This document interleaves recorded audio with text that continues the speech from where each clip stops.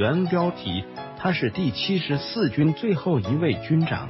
被俘后，许世友亲自接待他。众所周知，国民党军有五大王牌军之称，其中七十四军又是王牌中的王牌，在抗战时期几乎打遍所有重要战役，立功无数。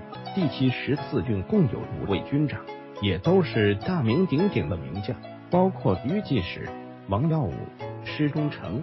张灵甫、邱伟达，前面四位历史客栈都介绍过了，今天再来看看最后一位邱伟达。图前排左起，邱伟达、王耀武、余继时、诗中诚。邱伟达，一九零四年出生于湖南平江县，小时候家境殷实，被父亲送到平江县城的英国教会学校读书。五四运动时期。邱维达热血沸腾，和学生一起参加反对帝国主义的示威游行，不料竟被教会学校开除。值得一提的是，当时和邱维达一起游行的学生中，有一个人叫钟期光，后来成为开国上将，有个孙女叫柯兰。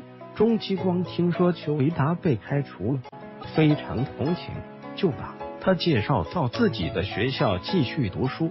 成为同窗好友。二十多年后，邱维达在淮海战场上被俘，中期光时任华东野战军政治部副主任，对他多有照顾。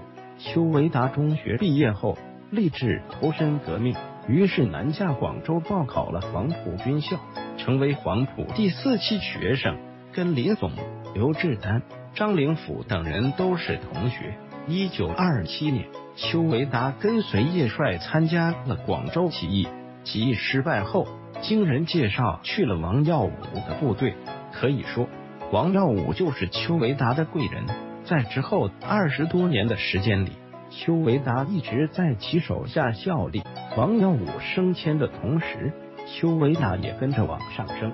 一九三七年九月，时任七十四军三百零六团团长的邱维达。参加了惨烈的淞沪会战和南京保卫战。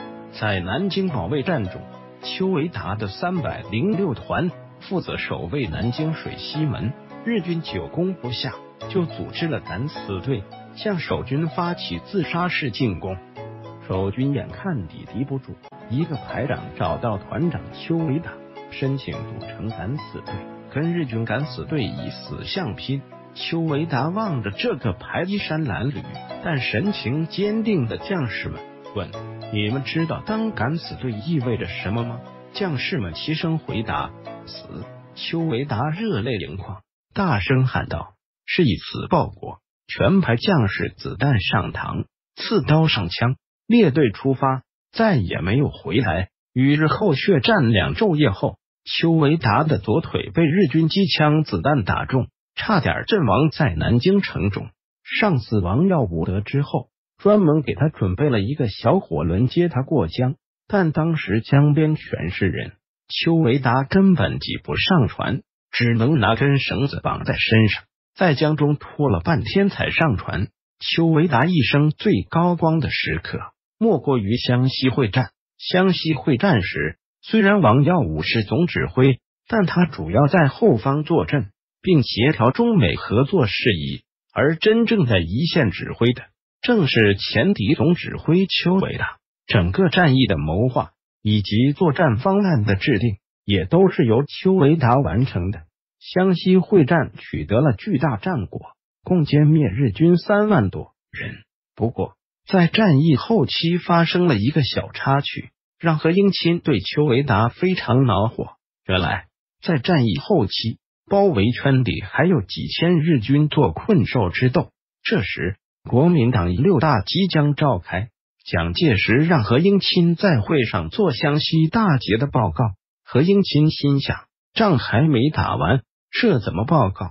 何应钦为了交差，就命令王耀武给日军放个口子，让那几千日军逃走，提前结束湘西会战。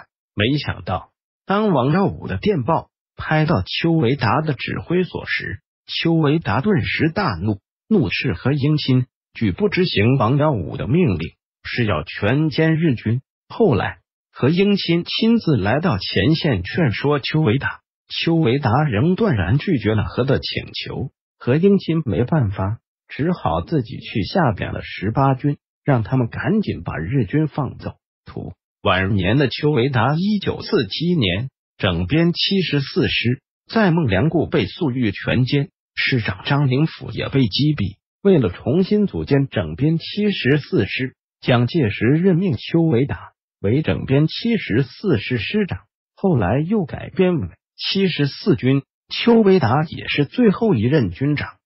不过，解放战争到了这个时候，邱维达也自知无力回天，就在淮海战役兵败后率众投降了。对这位战功赫赫的抗战名将，我军也对他非常尊敬。许世友亲自出面接待他，让他住在兵团司令部。钟其光也经常过去安慰他。邱维达不同于其他国民党将领。他身上有着典型的职业军人操守和爱国情怀，因此刘伯承主持南京军事学院后，专门请他跟廖耀湘等人去学院当教官。在南京军事学院，邱维达工作了八年之久，受到了我军很多高级将领的尊敬。建国后，邱维达基本上一直在南京工作，每年清明节。他都会去祭奠当年在南京保卫战中牺牲的战友们，一直到他一九九八年病逝。历史客栈作者威廷跟斯坦因有趣味、有思维、有品味的三位历史，请关注微信公众号 m a s h a o h u a 幺零八，返回搜狐查看更多责任编辑。